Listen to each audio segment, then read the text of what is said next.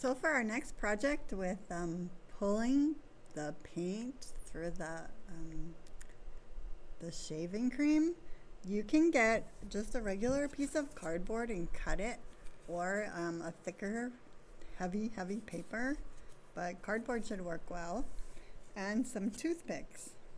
Then you can line up your toothpicks and make each toothpick the same length from the edge of the, of the cardboard.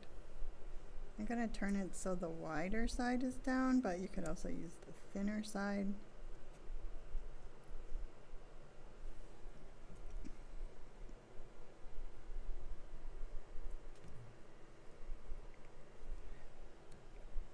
Line them all up. Same length.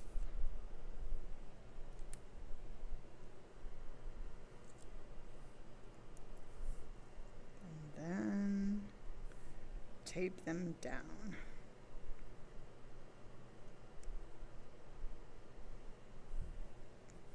I'm going to use some masking tape.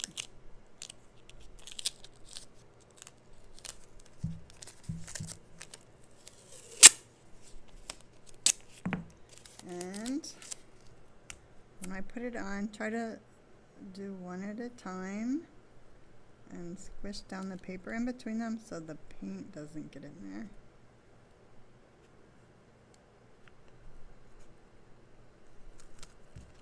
But it's okay if the paint gets in there too. Get all the air out in between them. And then wrap it around. And you have your comb.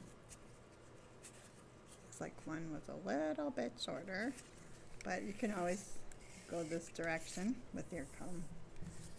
Okay, so that's how you make your comb. Or you can use a regular comb or anything that's going to pull the paint